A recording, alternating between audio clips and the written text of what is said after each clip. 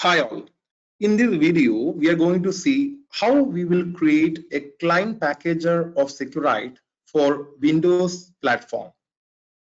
In order to create a client packager for Windows platform, first you need to come to endpoint security server side. So for me, this is my system. This is my endpoint security server.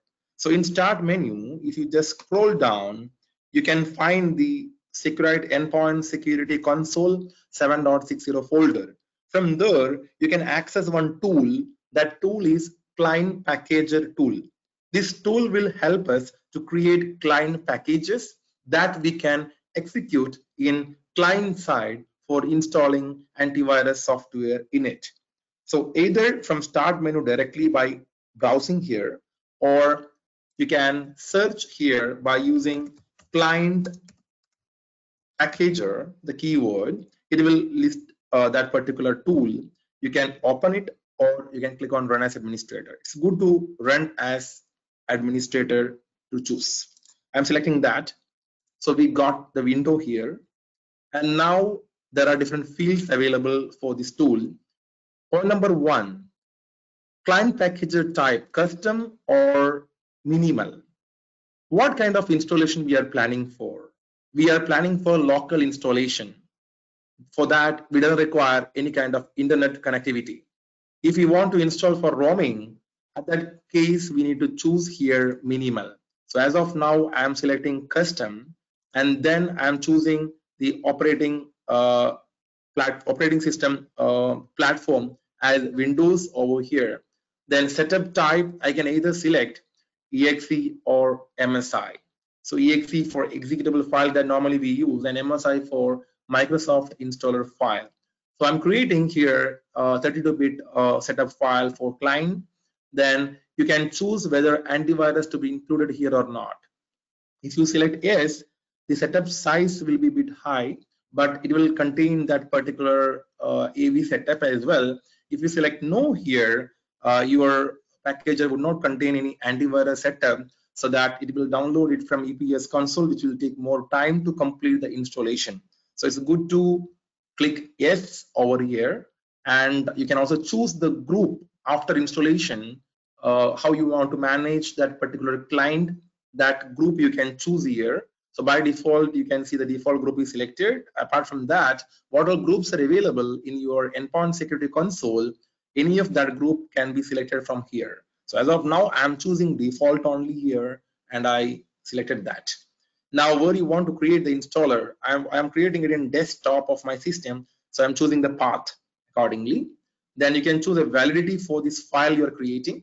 So after the expiry, that is after the end of that validity period, that file we cannot use for installing client.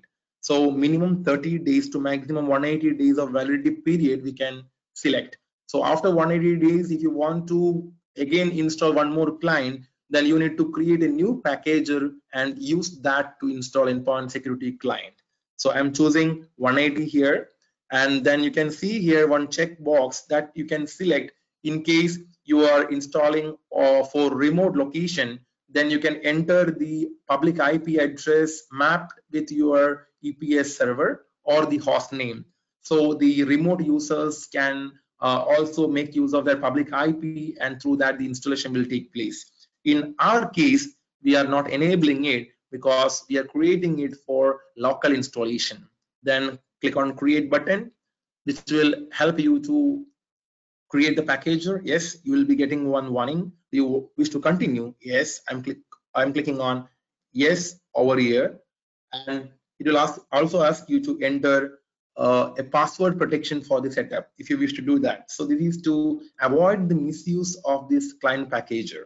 So if anyone uh, is having the access of the client packager without this password, they cannot execute it in any system. So it is good to set the password always. So I'm click I'm clicking on yes and I'm entering one password over here this password is not the client password this is the password that we are setting for the packager to protect it from misuse so click on ok it will take some time to complete the creation of client packager for windows operating system so once it is created we'll be getting a message in the screen. Let's wait for a while uh, to complete the entire process.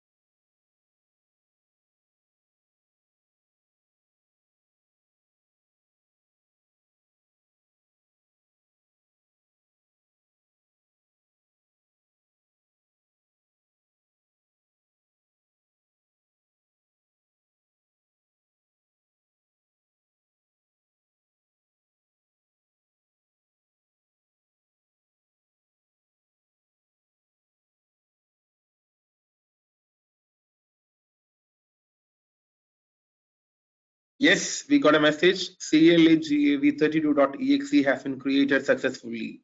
So just click on OK. If you want to create a package again, you can make use of the same window. You can also see one send mail option here. You can send uh, this particular package via mail as well.